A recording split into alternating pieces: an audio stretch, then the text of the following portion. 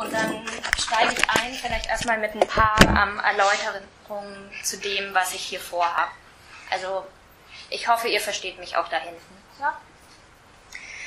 Ähm, ja, was im Ankündigungstext für die Veranstaltung ja schon stand, ähm, ist das Geschlecht für die frühe kritische Theorie keine zentrale Analysekategorie gewesen ist. Das bedeutet jetzt aber eben nicht, dass sich in der Gesellschaftskritik der frühen kritischen Theorie, und ich werde nur über die frühe kritische Theorie sprechen, ähm, bedeutet eben nicht, dass sich da überhaupt keine Überlegungen zum Geschlechterverhältnis finden. Ähm, vielmehr wird man, wenn man danach sucht, die Texte mit Aufmerksamkeit für Geschlecht liest, ähm, an verschiedenen Stellen im Werk der einzelnen Autoren immer wieder ähm, Bemerkungen dazu finden. Und was ich heute Abend also machen möchte, ist einige dieser ähm, vereinzelten Überlegungen und Thesen zusammenzutragen und diese aus einer feministischen Perspektive zu interpretieren. Das heißt, aus einer Perspektive, die Geschlecht nicht nur en passant wahrnimmt, wie das bei der kritischen Theorie eher der Fall ist, sondern eben aus einer Perspektive, die eher zentrales Augenmerk auf die Bedeutung von Geschlecht für gesellschaftliche Praxis legt. Damit gehe ich also zwangsläufig immer ein Stück weit ähm, über diese Texte auch hinaus, weil meine Aufmerksamkeit, mein Schwerpunkt halt woanders liegt. Ich knüpfe aber natürlich auch an die an. Denn wie ebenfalls bereits im Ankündigungstext erwähnt wurde, ähm, verstand die kritische Theorie das bürgerliche Subjekt nicht als ein transzendentales, das insofern eben auch ein geschlechtliches Neutrum darstellen würde, sondern sie reflektiert sehr wohl Asymmetrien und Unterschiede in der Konstitution männlicher und weiblicher Subjekte. Im ersten Teil meines Vortrags werde ich anhand des Exkurses zur Odyssee aus der Dialektik der Aufklärung zunächst mal ähm, grundlegende Strukturen des modernen Subjekts ähm, in ihrem Zusammenhang mit Männlichkeit und Weiblichkeit herausarbeiten. Im Mittelpunkt wird also die Interpretation von dem Mythos stehen und ich denke, was Adorno und Horkheimer mithilfe dieses Mythos versuchen zu fassen, ähm, könnte man sowas nennen wie das Subjekt in seinem idealen Durchschnitt. Ähnlich wie die Marxische Analyse im Kapital eben nicht auf historisch spezifische Erscheinungsformen der kapitalistischen Gesellschaft zielt, sondern deren überdauernde strukturelle ähm, Elemente in den Blick nimmt, zielen, denke ich, auch die Überlegungen des Odyssee-Exkurses stärker auf allgemeine, ja, quasi überzeitliche, überhistorische Strukturen, in dem Fall eben nicht des Kapitalverhältnisses, sondern des modernen Subjekts. Gleichzeitig, und darum soll es dann im zweiten Teil gehen, finden sich in der kritischen Theorie jedoch auch Überlegungen, die stärker auf eine historisch spezifische Konstitution von Subjektivität, Männlichkeit und Weiblichkeit abzielen. Zumindest ist meine Interpretation so. Ähm, es wird im zweiten Teil also um sowas wie Zeitdiagnosen der kritischen Theorie gehen, in der sie ihre Gegenwart, das heißt die bürgerliche Gesellschaft der 1930er bis 1960er Jahre, ähm, Zeitdiagnosen, in der die kritische Theorie also ihre Gegenwart in den Blick nimmt. Diese Phase bürgerlicher Gesellschaft wird von der kritischen Theorie mit verschiedenen Begriffen ähm, belegt. Es ist die Rede mal von Spätkapitalismus, mal von der verwalteten Welt oder von der eindimensionalen Welt, wie es bei Marcuse heißt. Und diese verschiedenen Begriffe akzentuieren natürlich immer verschiedene Aspekte einer gesellschaftlichen Entwicklung. Ähm, man könnte natürlich auf diese Unterschiede nochmal irgendwie näher eingehen. Ich glaube aber für das, was ich vorstelle, ist das nicht so wichtig, sondern zentral ist einfach, ähm, dass hinter all diesen Begriffen ähm, die Beobachtung steht, dass sich die bürgerliche Gesellschaft mit dem Übergang vom 19. zum 20. Jahrhundert in entscheidenden Zügen gewandelt hat. Und dazu möchte ich noch kurz so ein bisschen einfach, dass ihr das als Hintergrundwissen später irgendwie für meine Ausführungen parat habt, ähm, ein paar Sätze verlieren. Also inwiefern, was wandelt sich aus Sicht der kritischen Theorie mit dem Übergang vom 19. bis 20. Jahrhundert? Ähm, ja, was sich verändert, ist zunächst mal ähm, das Verhalten des Staates oder die Rolle des Staates kam diesem eben in der liberalen Phase des 19. Jahrhunderts lediglich die Funktion eines Nachtwächters zu, der die grundlegenden Bedingungen setzt, auf deren Basis sich dann zahlreiche Einzelkapitale, also die klassischen Familienunternehmen, in der Konkurrenz gegenübertreten, so lassen sich eben mit dem Übergang zum 20. Jahrhundert zwei neue Tendenzen beobachten. Zum einen wurde infolge der sogenannten Gründerkrise oder des Gründerkrachs um 1873 die liberale Wirtschaftspolitik aufgegeben und stärker auf eine staatliche Steuerung wirtschaftlicher Prozesse gesetzt. Beispiele dafür wären einerseits ähm, die Bismarckschen Schutzzölle, ähm, aber eben auch die Sozialgesetzgebung.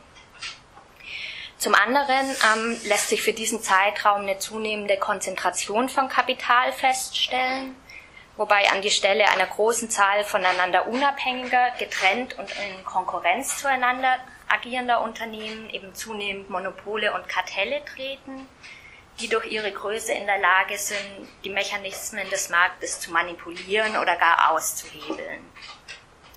Ähm, die grundlegende gesellschaftliche Tendenz, die also die kritische, durch die die kritische Theorie den Spätkapitalismus ähm, charakterisiert sieht, ist die einer zunehmenden Amalgamierung der Einzelkapitale auf der einen Seite sowie ein Zusammenrücken von Staat und Kapital. Und ähm, ja, das bildet einfach nur mal so den Hintergrund ähm, an Entwicklungen, vor deren dann vor, de, ähm, vor diesem Hintergrund beobachtet die kritische Theorie dann eben auch Veränderungen in der Subjektkonstitution. Das ist einfach als Hintergrundwissen, damit meine Erläuterungen im zweiten Teil hoffentlich zumindest einigermaßen plausibel wissen, wollte ich das mal voranstellen.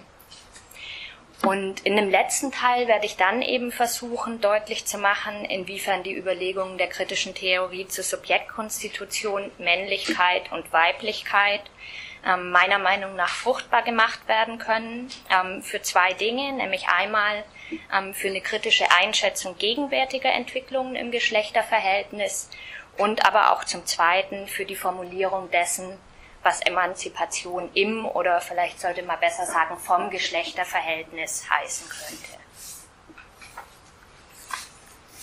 Und wie ihr schon seht, habe ich eine Präsentation mitgebracht. Also ich werde ähm, versuchen die Überlegungen der kritischen Theorie zu Subjekt, Männlichkeit und Weiblichkeit anhand von ausgewählten Zitaten darzustellen. Und ähm, ich habe dazu immer jeweils Bilder ähm, mitgebracht, die auch nochmal so ein bisschen einen anderen Zugang zu den Zitaten, die ja nicht immer auf Anblick so ganz leicht verständlich sind, ein bisschen anderen Zugang zu diesen Bildern, ähm, nein, zu den Zitaten zu ermöglichen. Ähm, und die Zitate werden dann auch immer nochmal an die Wand geworfen. Also auch, falls ihr vielleicht zwischendrin aussteigen sollte, nicht ganz verständlich ist, irgendwie, worauf ich eigentlich hinaus will, ist die Hoffnung, dass ihr zumindest über die Zitate an der Wand dann immer ein bisschen nachvollziehen könnt, was ich eigentlich meine hier vorne. Ja, wie gesagt, werde ich jetzt anfangen ähm, mit dem Exkurs zur Odyssee aus der Dialektik der Aufklärung was das Bild zeigt, ist eben diese Episode von Odysseus Vorbeifahrt an der Insel der Sirenen, der an den Mast gebundene Odysseus, die rudernden Gefährten und hier die Sirenen eben als weibliche Wesen dargestellt. Ähm, und das Zitat, mit dem ich einsteigen möchte, kennen wahrscheinlich einige von euch. Ähm, in der Dialektik der Aufklärung heißt es eben, Furchtbares hat die Menschheit sich antun müssen, bis das Selbst, der identische, zweckgerichtete, männliche Charakter des Menschen geschaffen war.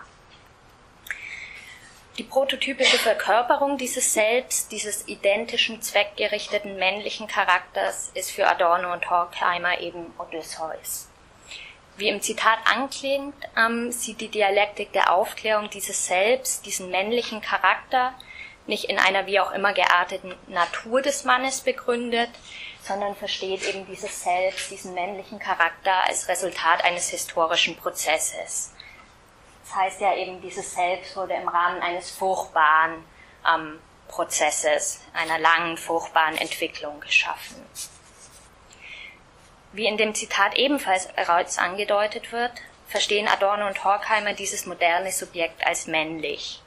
Und damit ist weitaus mehr gemeint, als dass Frauen lange Zeit, ungeachtet des bürgerlichen Bekenntnisses zu Gleichheit und Freiheit, der Status voller Bürgerinnen vorenthalten wurde. Ähm, vielmehr wird Subjektsein eben als eine spezifische Form des Selbst- und Weltverhältnisses, wie Andrea Mayhofer das genannt hat, verstanden. Ähm, und dieses spezifische Selbst- und Weltverhältnis des Subjekts ist eben aufs engste mit Herrschaft im Klassen- und im Geschlechterverhältnis verknüpft. Am Beispiel des Odysseus zeigen Adorno und Horkheimer, dass ein Subjekt zu sein bedeutet, Herr seiner selbst zu sein. Das Subjekt ist dabei zugleich ein Herrschendes wie ein Beherrschtes. Es muss Triebe, also die sogenannte eigene innere Natur, unterdrücken, was besonders bedeutet, sexuelle Lüste ähm, zu kontrollieren, Herr der eigenen Lüste zu werden. Und das Subjekt muss Gefühle und emotionale Bindungen verdrängen. Das Subjekt muss also einen Teil des Selbst, Triebe, Gefühle abspalten und zum Gegenstand der Kontrolle wie zum Objekt seiner Beherrschung machen. Und diese Abspaltung und Unterwerfung eines Teiles selbst begünstigt dann gleichzeitig eben den Mechanismus der Projektion, was als Teil des eigenen Selbst nicht akzeptiert werden kann oder nicht akzeptiert werden darf, wird der äußeren Umgebung zugeschrieben und dadurch erscheint diese äußere Umgebung dann eben nochmals bedrohlicher, als sie ja schon ohnehin wäre. Also das, was mir äußerlich ist, entzieht sich ja immer schon ein Stück weit meiner Kontrolle und wenn dieses was ich als äußerlich wahrnehme, nochmal was ist, was ich in mir selbst nicht, an mir selbst nicht akzeptieren darf, dann wird das quasi doppelt bedrohlich. Ähm, ja. Damit muss das Subjekt eben diese äußere Welt ähm, zu beherrschen und unterwerfen trachten. Ähm, konstitutiv für das moderne Subjekt ist also eine Dialektik von Herrschaft und Unterwerfung, die gleichermaßen das individuelle Verhältnis zu sich selbst, also Kontrolle, Triebe, Abspaltung von Gefühlen, wie überhaupt das Verhältnis zur Welt kennzeichnet. Ähm, Im Übrigen könnt ihr gerne Zwischenfragen stellen, wenn was nicht deutlich wird, nicht verständlich ist, was ich hier erkläre. Ja? Mm, also soweit mal zum Subjekt überhaupt, ähm, seine Verstrickung in Herrschaft und Unterwerfung. Ähm, was jetzt aber, glaube noch nicht wirklich deutlich geworden ist, was ähm, ja diese Konstitution des Subjekts mit Herrschaft im Klassen- und Geschlechterverhältnis zu tun hat. Und ich glaube, dazu ist es ganz sinnvoll, also um diesen Zusammenhang ähm, herauszuarbeiten, ist es ganz sinnvoll, wieder ähm, zu diesem Bild von der Vorbeifahrt an der Insel der Sirenen zurückzukehren. Der Gesang der Sirenen, die hier eben bereits als Frauen dargestellt sind, verspricht ja ein Wissen, ähm, das zugleich lustvoll wie bedrohlich ist. Ähm, der Gesang der Sirenen zieht magisch an, aber wer dieser Verlockung erliegt, ähm, bezahlt dafür mit dem Tod. Jetzt hat Odysseus aber Vorkehrungen getroffen, dass er dem Gesang lauschen kann, ohne ähm, gleichzeitig der Verlockung zu erliegen und deswegen mit dem Tod bezahlen zu müssen. Ähm, den Gefährten, die das Schiff an der Insel vorbeirudern müssen, hat er die Ohren mit Wachs verstopft. Ähm, das heißt, er hat ihre Disziplinierung, ähm, er ist ja auch ihr Herr, er hat ihre Disziplinierung in die Hand genommen die Gefährten vernehmen nichts vom Gesang und seinen Versprechungen und sind eben genau dadurch in der Lage, ihrer Arbeit nachzukommen. Sich selbst dagegen hat Odysseus an den Mast binden lassen, ähm, was man natürlich in gewissem Sinne als ein Eingeständnis ähm, seinerseits ähm, interpretieren kann, dass er davon ausgeht, dass er wahrscheinlich dieser Verlockung der Sirenen von sich aus auch nicht ganz in der Lage ist, der zu widerstehen ähm, ist also ein Eingeständnis, dass Odysseus ähm, die nötige Selbstkontrolle fehlen könnte. Aber genau deswegen hat er ja Anordnungen getroffen, die einen solchen Selbstverlust verhindern. Ähm, und insofern ist er zwar natürlich gefesselt, aber ich denke, der entscheidende Unterschied zu den Gefährten ist halt, dass Odysseus ja selbst seine ähm, Fesselung angeordnet hat. Insofern ist auch diese äußere Fesselung des Odysseus schon wieder ein Akt der Selbstdisziplinierung, während ich sagen würde, dieses den Gefährten ähm, die Ohren mit Wachs verstopfen, ist ein Akt der Fremddisziplinierung. Ja, und wenn wir wieder zu den Sirenen irgendwie uns die genauer anschauen, ähm, dann verkörpern die also eine Bedrohung dieses herrschaftlichen Selbst des Odysseus. Und was ich denke aus einer geschlechtertheoretischen Perspektive noch ganz interessant ist, ähm, ist, dass die Sirenen in den älteren Überlieferungen eigentlich nicht als eindeutig weiblich oder als Frauengestalten dargestellt sind, sondern sie sind in den ältesten Überlieferungen eigentlich eher vogelartige Wesen, manchmal sogar mit Bärten dargestellt. Ähm, und ich würde das so interpretieren, dass die mit den Sirenen verbundenen Wünsche und Sehnsüchte, die das Selbst niederhalten muss, ursprünglich vielleicht jenseits von Zweigeschlechtlichkeit angesiedelt waren und erst mit der Zeit eben die Gestalt einer lockend verderbenden Weiblichkeit angenommen haben. Eine konkrete weibliche Gestalt ähm, nimmt Verführung in der Odyssee dann eben erst mit der Figur der Kirke an.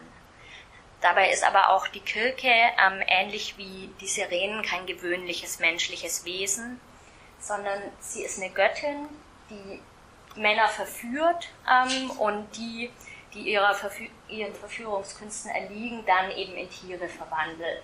Also da unten sieht man ja auch so einen Hund oder Fuchs oder was das genau sein soll. Und da hinten ein Pferd. Ja, und Odysseus kommt eben mit seinen Gefährten irgendwie bei Kirke an und einfältig wie die Gefährten nun mal sind, ähm, können die Kirke Scham nicht widerstehen ähm, sie werden dann eben auch von ihr in Tiere verwandelt und bei Odysseus verhält sich das dagegen wieder ganz anders. Ähm, Odysseus ist nämlich von Hermes, ähm, man könnte sagen, in einem Akt der Männerkumpanei mit einem Zauberkraut ausgestattet worden.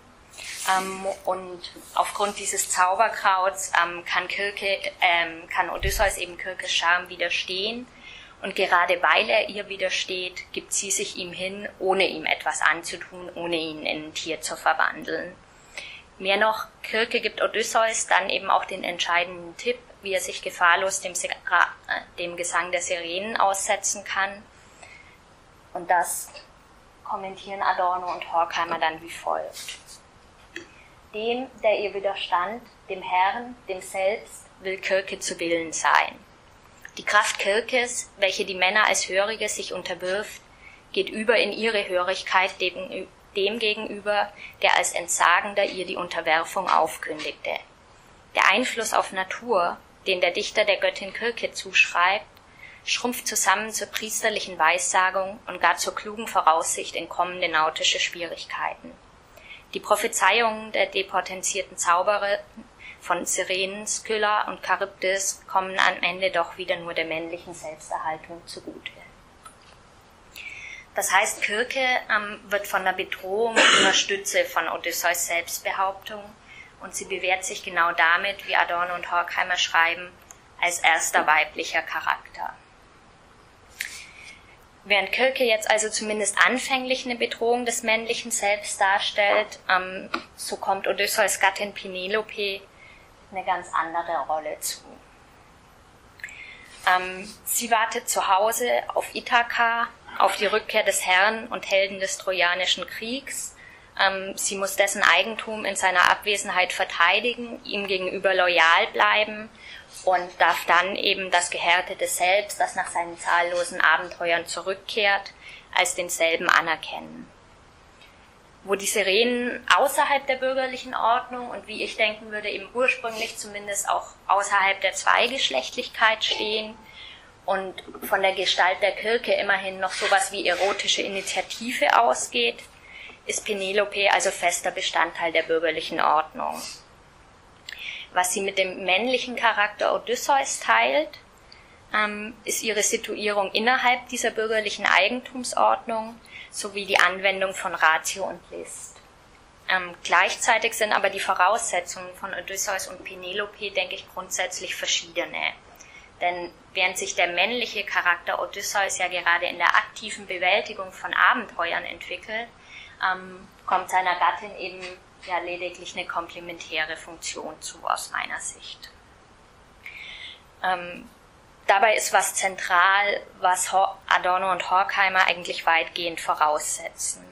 Und was auch damit zusammenhängen mag, dass eben ihre Interpretation ähm, von Odysseus ganzer Geschichte ja erst mit der Odyssee einsetzt. Und die Odyssee, das ist ja die Beschreibung der Abenteuer, die Odysseus auf der Weg, also als er sich auf den Weg macht vom Trojanischen Krieg, der zu Ende ist, zurück nach Ithaka. Ähm, in dieser Zeit ist eben die Odyssee angesiedelt und vorausgeht also der Odyssee ja eigentlich genau, dass Odysseus seine Familie, sein Reich verlässt, dass er eben in den Krieg zieht. Und von daher mag diese Vernachlässigung des Unterschieds, ähm, Odysseus ist räumlich mobil, kann Reich, Familie verlassen, Penelope genau das nicht.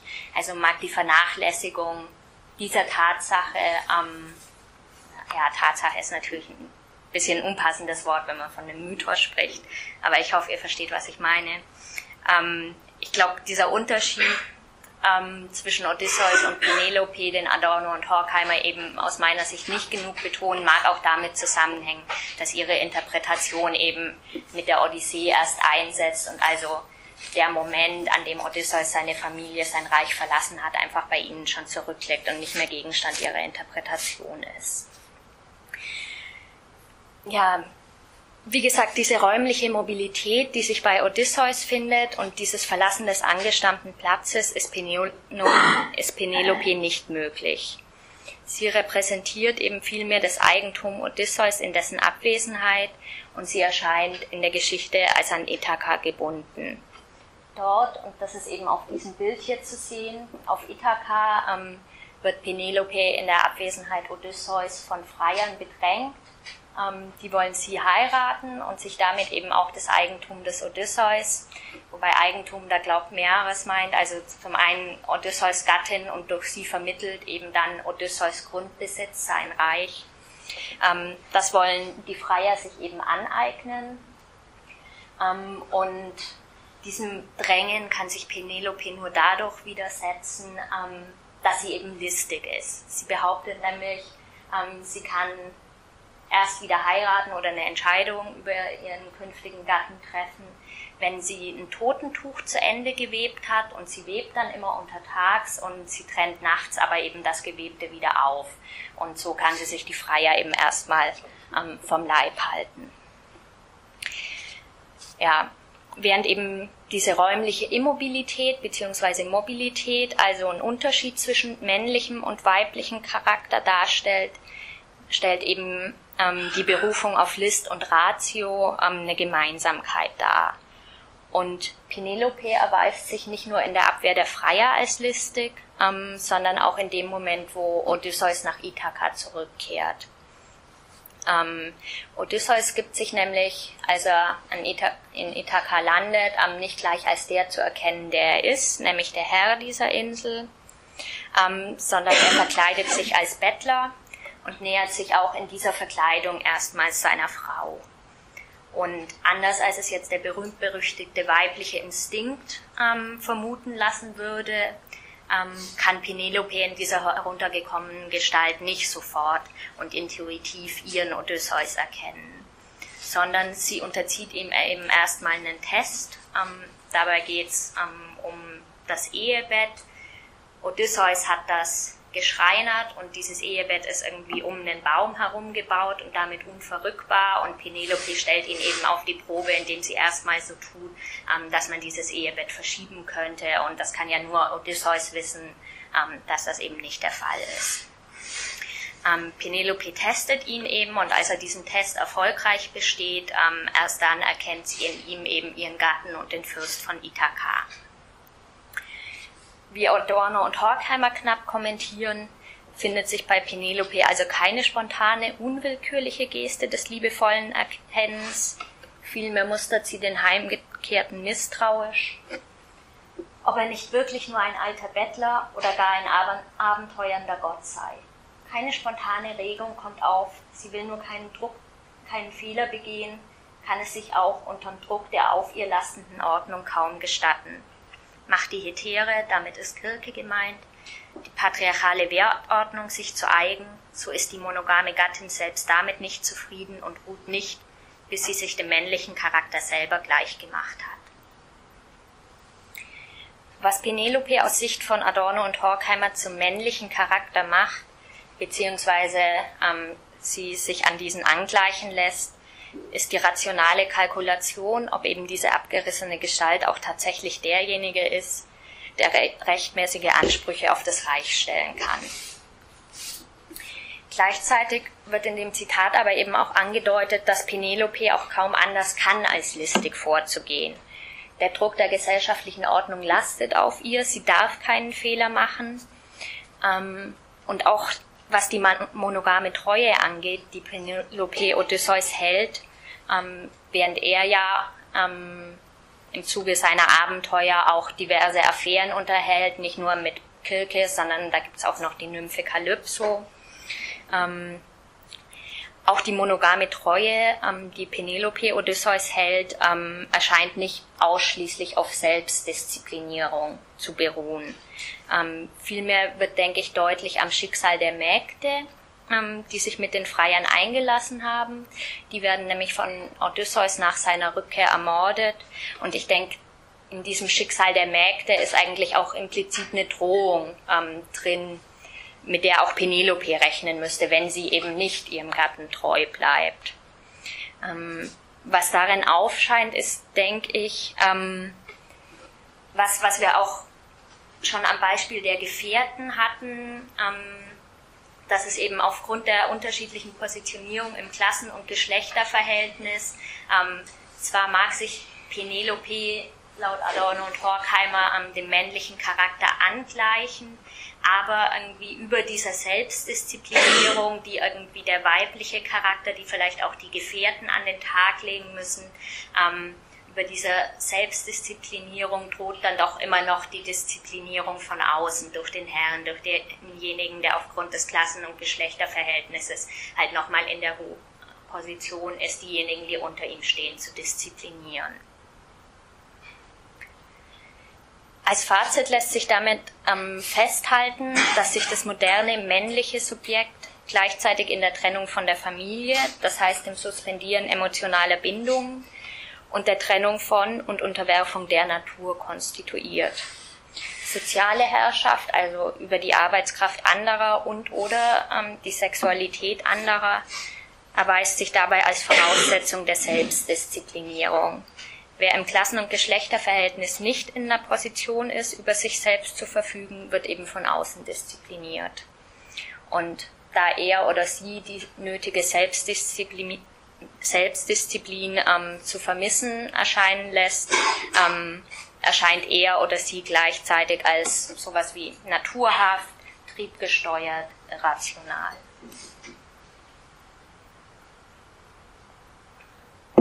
Ich hoffe, das war bis hierhin einigermaßen nachvollziehbar, weil dann würde ich jetzt zum zweiten Teil kommen, nämlich ähm, ja, weg von den Auseinandersetzungen mit Männlichkeit und Weiblichkeit im Mythos ähm, hin zu einer stärker historisch spezifischen Konstellation von Subjektivität und Geschlecht. Denn neben diesen mythischen oder der, neben der Beschäftigung mit mythischen Männer- und Frauengestalten finden sich in der kritischen Theorie auch solche, die meines Erachtens eben als zeitdiagnostische Momentaufnahmen von Männlichkeit und Weiblichkeit im Spätkapitalismus fungieren. Das heißt, im Folgenden geht es um die Frage, ähm, welche Veränderungen Männlichkeit und Weiblichkeit im Spätkapitalismus erfährt. Oder man könnte das auch anders formulieren, ähm, was wird im Spätkapitalismus aus dem männlichen und weiblichen Gestalten der Odyssee. Der Odysseus ähm, aus der Dialektik der Aufklärung transformiert sich in den Minima Moralia zum spätkapitalistischen He-Man. Und gemeint ist damit, wir hatten es vorhin schon mal, meines Erachtens also nicht ähm, die ähm, Mattel-Figur oder Comic-Figur He-Man, ähm, das war erst nach Adornos Zeit, sondern glaube eher diese Gestalt hier. Ähm, dieser moderne Typus von Männlichkeit, ähm, dieser He-Man, ähm, verachtet, was nicht nach Rauch, Leder und Rasiercreme riecht, zumal die Frauen, die eben darum ihm zufliegen. Das Ideal zwischenmenschlicher Beziehungen ist ihm der Club, die Stätte eines auf rücksichtsvoller Rücksichtslosigkeit gegründeten Respekts. Die Freuden solcher Männer haben allesamt etwas von latenter Gewalttat. Dem Anschein nach droht sie den anderen, deren so einer in seinem Sessel hingeräkelt längst nicht mehr bedarf. In Wahrheit ist es vergangene Gewalt gegen sich selber. Zentrales Moment männlicher Subjektkonstitution ist für Adorno in diesem Zitat eben ähnlich wie im Odyssee-Exkurs Versagung und Gewalt, aber eben nicht als von außen auferlegte, sondern als eine Selbstdisziplinierung.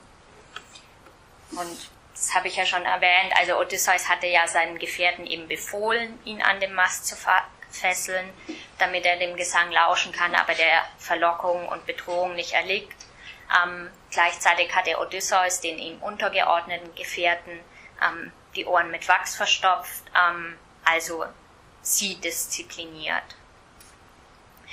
Damit kann man, denke ich, sagen, dass Odysseus Männlichkeit in gewissem Sinne noch eine exklusive war, die eben auf seiner Stellung als Herrscher beruhte. Nur der Herr hatte sich selbst zu disziplinieren, die Disziplinierung der Untergeordneten wurde eben durch den Herrn in die eigene Hand genommen. Demgegenüber ist, denke ich, dieser Typus von Männlichkeit, ähm, den Adorno hier beschreibt, ähm, in gewissem Sinne demokratisiert. In diesem Aphorismus, Tough Baby ist es, in dem Minima Moralia heißt es nämlich weiter, noch dem letzten Bankangestellten wird von den Filmhelden eben diese Art von Männlichkeit vorgemacht. Die Aufforderung, die also von der Kulturindustrie ausgeht, ist, dass jetzt auch der nicht besitzende Mann sich eben diese Art von Männlichkeit aneignen kann und aneignen soll.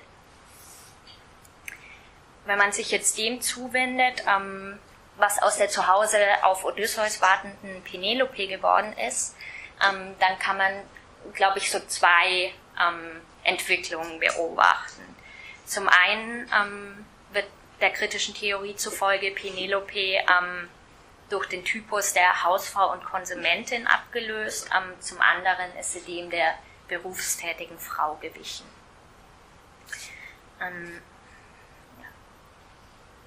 Hier eben die berufstätige Frau. Mit dem Niedergang des klassischen Liberalismus, mit seinem Typus des männlichen Familienunternehmers, sind eben Frauen als Angestellte nun so selbstständig wie die unselbstständigen Männer. Ähm, weiter heißt in der Zulassung der Frauen zu allen möglichen überwachten Tätigkeiten verbirgt sich die Fortdauer ihrer Entmenschlichung. Sie bleiben im Großbetrieb, was sie in der Familie waren, Objekte. Frauen sind also im Spätkapitalismus ähm, ebenso wie Männer zu Objekten des Produktionsprozesses geworden, beobachtet die kritische Theorie ähm, diese Selbstzurichtung als Arbeitskräfte in einem entfremdeten Arbeitsprozess verlangt Frauen eine ähnliche Gewalt gegen sich selbst ab wie dem He-Man, nämlich Unterdrückung von Triebregungen, Selbstdisziplinierung. Dabei ähm, behauptet die kritische Theorie aber nicht, dass Frauen jetzt dem männlichen Charakter dadurch vollkommen gleich oder gar ebenbürtig geworden werden. Vielmehr geht sie davon aus, dass sich trotzdem Asymmetrien im Geschlechterverhältnis fortschreiben. So heißt es in der Dialektik der Aufklärung eben, dass die Frau nichtsdestotrotz als Repräsentantin der Natur in der bürgerlichen Gesellschaft fungiert, wodurch sie zum Rätselbild von Unwiderstehlichkeit und Ohnmacht wird. Das heißt also, diese Assoziation von Frauen mit Natur, ähm, die wir am Beispiel der Sirenen hatten, ist auch im Spätkapitalismus nicht gebrochen. Und ich denke auch daran, was jetzt die kritische Theorie nicht explizit ähm, reflektiert, welche beruflichen Tätigkeiten Frauen eben offen stehen, gerade zu dieser Zeit. Ähm, hier sind das ja Sekretärinnen oder wie das bei Horkheimer mal heißt, Tippfräuleins. Ähm, auch daran zeigt sich ja, ähm, dass Asymmetrien im Geschlechterverhältnis ähm, mit dem Spätkapitalismus nicht der Vergangenheit angehören, sondern durchweg also in einer veränderten Form halt fortbestehen. So viel zum Typus der berufstätigen Frau. Ähm, als Hausfrau und Konsumentin der andere Typus, der Penelope ablöst, ist die Frau wiederum der Produktionssphäre nur entronnen, um von der Sphäre der Konsumption umso vollkommener aufgesaugt zu werden, gebannt in der Unmittelbarkeit der wahren Welt, so wie die Männer fixiert sind an die Unmittelbarkeit des Profits. Das Unrecht, das die männliche Gesellschaft den Frauen angetan hat, wird ihr von diesen zurückgespiegelt, sie gleichen den Wahn sich an. Wenn gerade die Rede davon war, dass Weiblichkeit auch im Spätkapitalismus nach wie vor mit Natur assoziiert wird, dann scheint dieses Zitat natürlich erstmal in die total entgegengesetzte Richtung zu gehen, weil ähm, die Angleichung an Waren oder die Ware überhaupt erscheint ja erstmal als ein extremer Gegenpol zur Natur. Ich denke, verständlich oder diese Widersprüchlichkeit relativiert sich zu einem Teil, ähm, wenn man das Zitat so liest, ähm, dass Adorno damit eigentlich diese angeblich größere Naturnähe von Frauen oder des Weiblichen ähm, als einen falschen Schein, könnte man das nennen, entlarven will. Ähm, dass Frauen, und hier müsste man ergänzen, Frauen der bürgerlichen Schichten, denn ähm, proletarische Frauen waren ja gerade im Frühkapitalismus als extrem billige Arbeitskräfte, ähm, wurde sehr gern auf Frauen zurückgegriffen. Sie waren in den Produktionsprozess eingebunden. Ähm, dass also bürgerliche Frauen historisch jetzt nicht im gleichen Maß in den Produktionsprozess eingebunden waren, ähm, bedeutet ähm, für Adorno nicht, dass sie deswegen in irgendeinem Sinne außerhalb der bürgerlichen Gesellschaft stünden. Ich denke, das macht dieses Zitat sehr deutlich. Und ähnliche Überlegungen ähm, formuliert Adorno dann auch noch in einem Brief an Erich Fromm, der schon ein paar Jahre vorher verfasst wurde. Ähm, in diesem Brief an Fromm vermutet Adorno, dass heute die Frau in gewissem Maße mehr vom wahren Charakter beherrscht wird als der Mann und dass sie als Agentur der Ware in der Gesellschaft fungiert. Im engsten Zusammenhang damit scheint mir zu stehen, dass die Frauen und ihr spezifisches Konsumentenbewusstsein sehr viel mehr als Kit zu betrachten sind, als zum Beispiel die Familienautorität mit ihrer asketischen Sexualmoral, die heute längst brüchig ist, ohne dass dadurch etwas Entscheidendes am bürgerlichen Charakter geändert wäre. Ähm, Adorno vermutet also, dass die Frau gerade durch ihren Ausschluss aus der Produktion besondere Züge des Bürgers, wenn auch andere als der Mann entwickelt hat. Das heißt, aus einer gewissen, zumal noch erzwungenen Distanz von Frauen aus dem Produktionsprozess kann sich für Adorno noch keine Hoffnung gründen, dass die Welt an dem weiblichen produktionsfernen Wesen genesen möge, ähm, wie das ja eine Hoffnung war, die bisweilen in manchen Strömungen feministischer Theorie ähm, formuliert wurde. Ähm, auch die weniger über Produktion, denn über Konsum vergesellschafteten erscheinen bei Adorno als eben dies, nämlich vergesellschaftet. Auch sie äh, stehen keineswegs transzendent zur Gesellschaft, sondern sie entwickeln bürgerliche Züge, wenn auch vielleicht andere als der Mann. Ähm, während für die Konstitution des männlichen Charakters jedoch Triebverzicht ähm, als zentral erschien, so scheint für den spätkapitalistischen weiblichen Charakter Wahn Konsum eine zentrale Rolle zu spielen. Im spezifischen Konsumentenbewusstsein der Frau vermutet Adorno den entscheidenden Kit, der die bürgerliche Gesellschaft ihren Widersprüchen zum Trotz zusammenhält. Wenn die spätkapitalistische ähm, Frau sich zu dem tendenziell den Wahn angleicht, wie Adorno zu beobachten meint, ähm, dann ist sie auch keine Sirene, von der eine diffuse, bedrohliche, die bürgerliche Ordnung sprengende ähm, Verlockung ausgeht. Zwar gehören Vorstellungen von dem ewig lockenden Weiblichen, ins Verderben führenden Weiblichen zwar keineswegs der Vergangenheit an, ähm, tatsächlich aber, so zumindest die kritische Theorie, ähm, gefährdet ähm, eine Zulassung von einem gewissen Maß an Erotik, Sexualität und Lust ähm, die spätkapitalistische Gesellschaft nicht im geringsten. Also was ausgeschlossen wird, ist diese absolute Bedrohung irgendwie, die noch durch die Sirenen ähm, eines ganz anderen, was quasi durch die Sirenen symbolisiert wurde. Und jetzt aber wird so ein gewisses Maß an Erotik, Sexualität, Lust durchaus zugestanden. Ähm, hier macht eben Adorno ähm, wieder eine Beobachtung von Veränderung ähm, im Spätkapitalismus.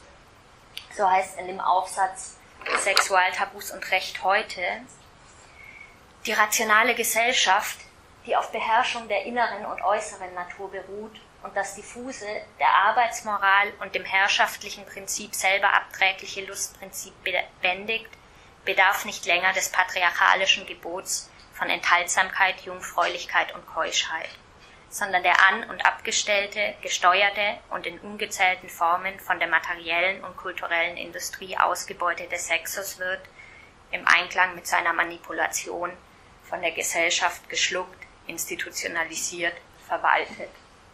Als Gezügelter ist er geduldet. Das heißt, sexuelle Freiheit ähm, ist für Adorno zu einem Moment der verwalteten Welt und ihrer Kulturindustrie geworden.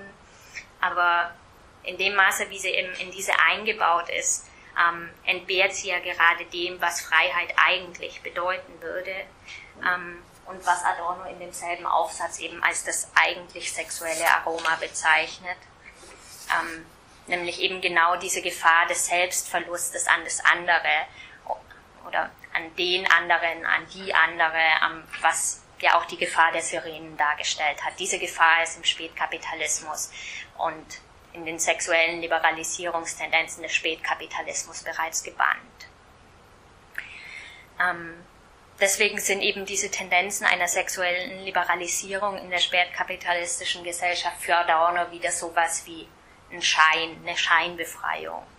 Sie verweisen nicht auf eine Zunahme an tatsächlicher Freiheit und Erfüllung, sondern sind veränderten gesellschaftlichen Reproduktionsbedingungen geschuldet. Während eben der protestantische Geist, wie das bei Max Weber heißt, ähm, während dieser protestantische Geist der sich entwickelnden bürgerlichen Gesellschaft Sexualität und Erotik einst mit einem Tabu belegt hat, so werden eben beide in der entfalteten Warenproduktion der spätkapitalistischen Gesellschaft in den Dienst genommen. Der Konsum bestimmter Waren dient dem Sexappeal und umgekehrt lässt der Sex bestimmte Waren erst als begehrenswert erscheinen. Ähm, die Angleichung an Waren, die Adorno eben zu beobachten meint, ist aber nicht beschränkt auf Frauen und auch nicht auf die Sexualisierung von Waren im Dienste ihrer Absatzsteigerung. Vielmehr zeigt sich an den Frauen der herrschenden Klasse, ähm, dass sie seit jeher die Funktion hatten, wie Adorno das nennt, den Status ihres Meisters zu bekräftigen. Nur diese generelle Tendenz einer Angleichung der Konsumenten an die zugleich durchschauten Kulturwaren besonders deutlich. Also es ist nicht nur ein Phänomen, was jetzt irgendwie auf die Frauen beschränkt wäre, aber besonders deutlich dort ablesbar. Die Tendenz, sich selbst zum Ding zu machen, sich der eigenen kaum mehr also im Eigen muss man da wirklich schon in Anführungsstriche setzen, die Tendenz, sich selbst zum Ding zu machen, sich der eigenen veräußerlichten Eigenschaften je nach Situation zu bedienen, ist der kritischen Theorie zufolge eben nicht auf die Frauen beschränkt, sondern eine übergreifende. So heißt es in der Dialektik der Aufklärung. Die Art, in der ein junges Mädchen das obligatorische Date annimmt und absolviert, der Tonfall am Telefon und in der vertrautesten Situation, die Wahl der Worte im Gespräch, bezeugt den Versuch, sich selbst zum erfolgsadäquaten Apparat zu machen, der bis in die Triebregungen hinein dem von der Kulturindustrie präsentierten Modell entspricht. Die intimsten Reaktionen der Menschen sind ihnen selbst gegenüber so vollkommen verdinglicht, dass die Idee des ihnen Eigentümlichen nur in äußerster Abstraktion noch fortbesteht. Personality bedeutet ihnen kaum mehr etwas anderes als blendend weiße Zähne und Freiheit von Achselschweiß und Emotionen.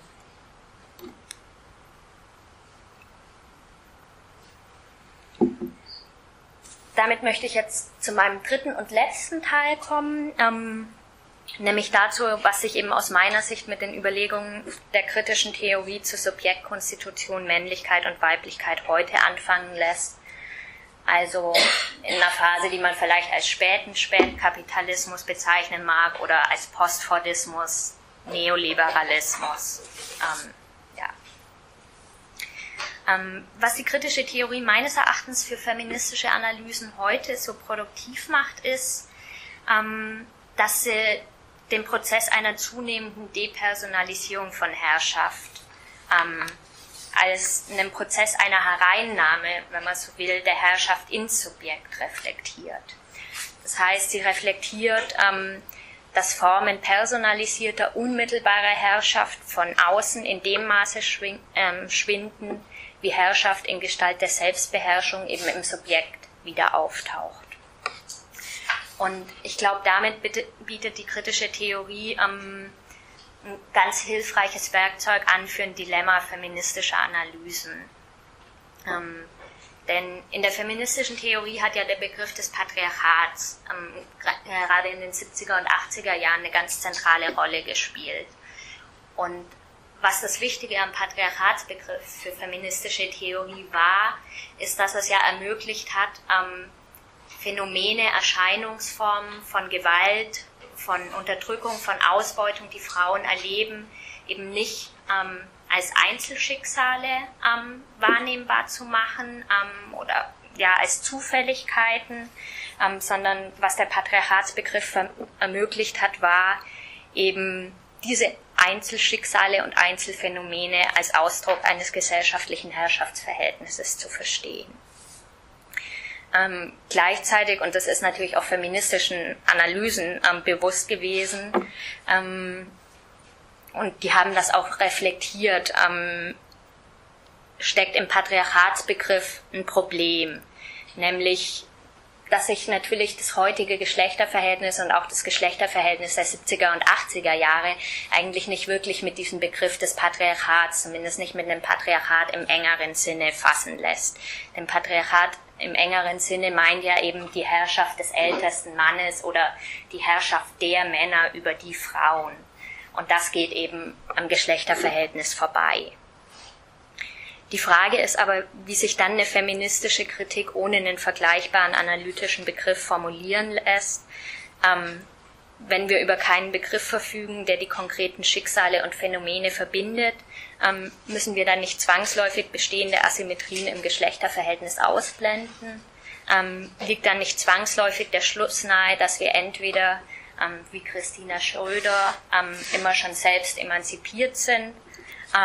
Oder wenn wir eben nicht Christina Schröder sind, ähm, dass es vielleicht unsere eigene Schuld ist, dass wir eben nicht emanzipiert sind. Und ähm, ich denke, indem die kritische Theorie eben den Zusammenhang von modernem Subjekt und Männlichkeit erhält, ähm, gibt sie uns Werkzeuge an die Hand, die aus diesem Dilemma feministischer Theorie herausführen können. Wie ich hoffe, dass deutlich geworden ist, ähm, finden sich in der Dialektik der Aufklärung Hinweise, die es erlauben, ähm, das spezifische Selbst- und Weltverhältnis des modernen Subjekts als ein zentrales Moment in der Konstitution von herrschender Männlichkeit zu verstehen. Also anders ausgedrückt, ähm, das moderne Subjekt ist eben strukturell männlich. Subjekt sein und im Verhältnis zu sich selbst und zur Welt ein Mann sein ist eben dasselbe. Das andere, seien es Frauen, Natur oder wilde Völker, ähm, sind eben weder volle Subjekte noch echte Männer. Hm, gleichzeitig, und darauf bin ich ja auch ausführlicher eingegangen, verzeichnet die kritische Theorie eben für den Spätkapitalismus sowas, ähm, was man als Demokratisierung des Subjekts über Klassen- und Geschlechterverhältnisse hinweg bezeichnen könnte. Auch nicht besitzende Männer und Frauen können sich nun eben dieses für das moderne Subjekt charakteristische Selbst- und Weltverhältnis zumindest bis zu einem gewissen Grad zu eigen machen. Der männliche und der weibliche Charakter, von dem anhand der Beispiele Odysseus bzw. Kirke und Penelope die Rede war, nähern sich im Spätkapitalismus aneinander an, und zwar zunächst erstmal im Sinne von einer Annäherung des weiblichen Charakters an den männlichen Charakter. Ähm, das bedeutet aus Sicht der kritischen Theorie jedoch keine Auflösung von Asymmetrien im Geschlechterverhältnis und eben schon gar keine Emanzipation, die zu Recht als solche bezeichnet werden könnte. Viel eher lässt sich dies mit Adorno eben als eine verbogene Emanzipation oder wie es auch bei ihm heißt, als Ausdehnung des Prinzips der männlichen Gesellschaft auf ihre Opfer verstehen ähm, wo man hinzufügen müsste, ähm, dass es sich die männliche Gesellschaft ja auch immer vorbehält, Frauen bei geeigneter Gelegenheit dann doch wieder auf traditionelle Bestimmungen des Weiblichen zu verweisen. Ähm, wir haben es also im Spätkapitalismus zum einen mit einer tendenziellen Angleichung ähm, von männlichem und weiblichem Charakter, ähm, von einer Demokratisierung des modernen männlichen Subjekts zu tun.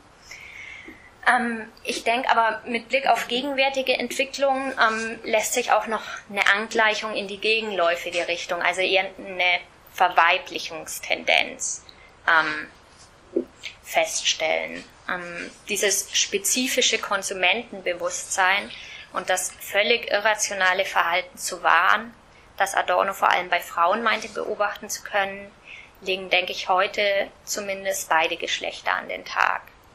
Ebenso ist das sich selbst wie anderen zur Ware und zum Tauschobjekt werden nicht mehr ein zweifelhaftes Vorrecht der Frauen, ähm, wie ein Blick in einschlägige Männerzeitschriften, denke ich, zeigen kann. Ähm, sowas wie Man's Health. Ähm, neben den nahezu unvermeidbaren, leicht bis nicht bekleideten Frauen finden sich dort eben heute auch Kochrezepte für körperbewusste, gesunde Ernährung, Workouts für die richtige Figur und Mode ähm, für den stylischen Hipster-Typen von heute. Ähm, und auch vom Arbeitsmarkt geht, denke ich, heute ein gewisser Feminisierungsdruck aus, wenn man das mal so nennen will.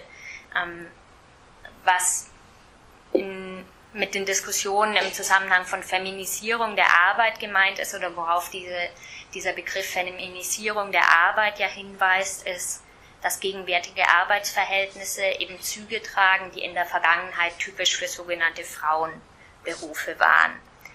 Flexibilität, Kommunikations- und Anpassungsfähigkeit sind Anforderungen, die der oder die ideale Arbeitnehmer in der Gegenwart eben erfüllen muss. Das heißt, ähm, gleichzeitig aber eben auch Eigenschaften, die ähm, traditionellen Geschlechterbildern folgen, vor allem Frauen zugeschrieben wurden und die aufgrund dieser Tradierung auch in der Entwicklung von Mädchen, ähm, denke ich, nach wie vor stärker gefordert und gefördert werden dem He-Man ähm, von Adorno gehen solche Eigenschaften wie Flexibilität, Belastbarkeit und all die zwischenmenschlichen Soft Skills, die ArbeitnehmerInnen heute mitbringen sollen, tendenziell ab.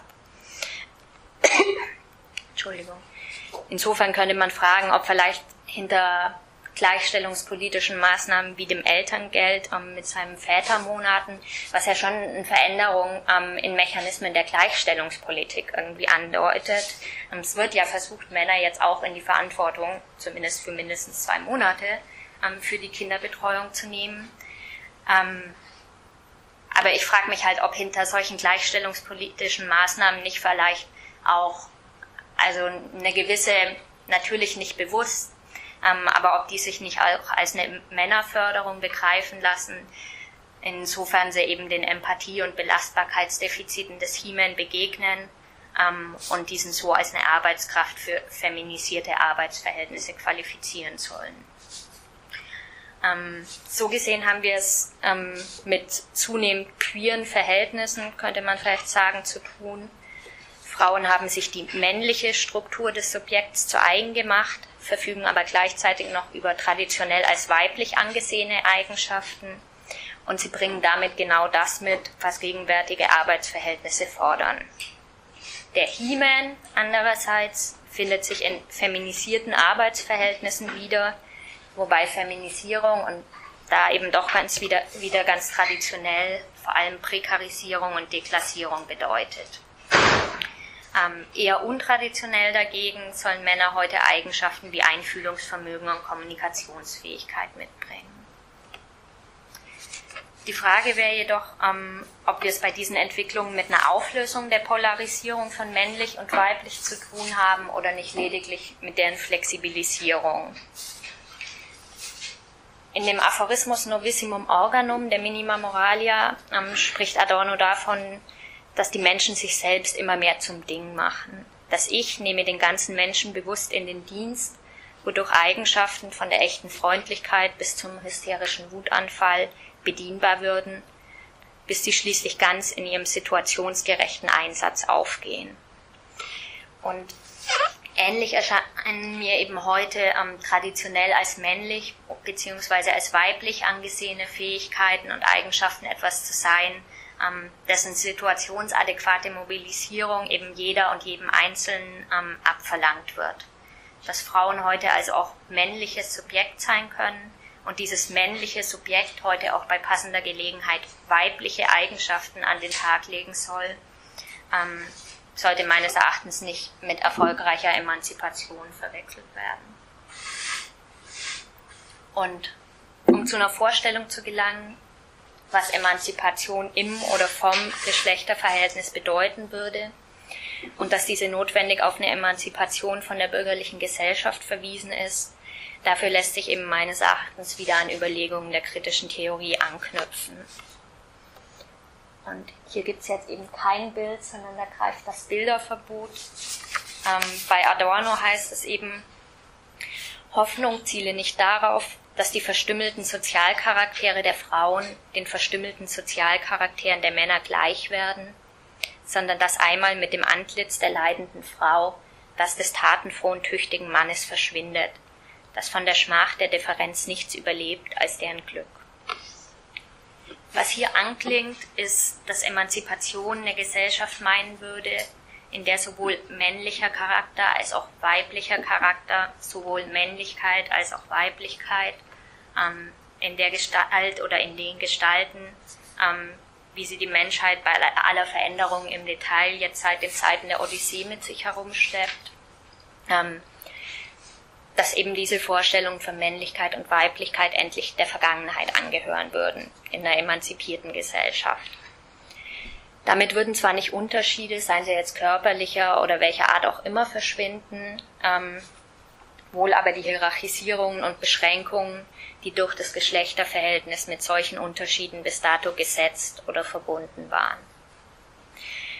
Dass eine derartige Emanzipation zugleich eine gesamtgesellschaftliche Emanzipation bedeutet, das ist für Adorno eigentlich selbstverständlich und das führt er auch nicht näher aus, ähm, sondern bei Adorno finden sich dafür eher so ja, kurze, prägnante Formeln wie einer Emanzipation der Frau, Kraft der Emanzipation der Gesellschaft. Ähm, das ist anders bei Marcuse. Ich denke, in Marcuses ähm, Kritik der spätkapitalistischen eindimensionalen Gesellschaft kommt dem Geschlechterverhältnis eine zentralere Rolle zu. Ähm, ganz knapp zusammengefasst ähm, begreift Marcuse die bürgerliche Gesellschaft als eine von einem männlichen Prinzip, nämlich dem kapitalistischen Leistungsprinzip beherrschte. Ähm, prämiert werden eben darin Effizienz, Wettbewerb und Erwerbsstreben, das, was Marcuse als repressive Produktivität bezeichnet. Unterdrückt und beherrscht hingegen wird das Lustprinzip, das bei Marcuse für Kreativität, Sinnlichkeit und Rezeptivität steht, ähm, was eben ihm zufolge Eigenschaften sind, die aufgrund der Geschlechtergeschichte weiblich konnotiert sind. Und in dem Maße, wie die bisherige Gesellschaft von dem männlichen Leistungsprinzip dominiert war, beschreibt Marcuse dann ähm, in Aufsätzen und Reden ähm, in den 1970er Jahren ähm, eine freie Gesellschaft als die bestimmte Negation dieses männlichen Leistungsprinzips. Das verdrängte und beherrschte von Marcuse als weiblich verstandene Lustprinzip würde eben in dieser Gesellschaft zur freien Entfaltung gelangen.